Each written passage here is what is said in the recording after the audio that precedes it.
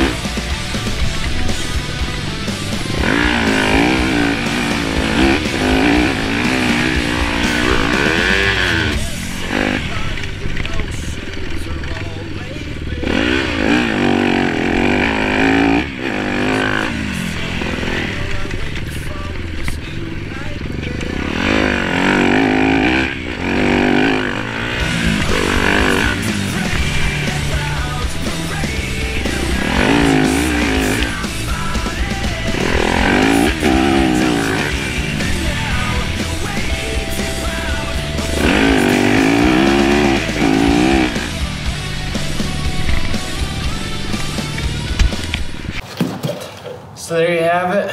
First ride around on the track, backyard track. I think there's some updates to come for that once we get the skid steer back at the house. But other than that, I think the main thing that needs some help is my riding. So we'll get to working on that and keep you guys posted. Take care. Thank you guys for watching.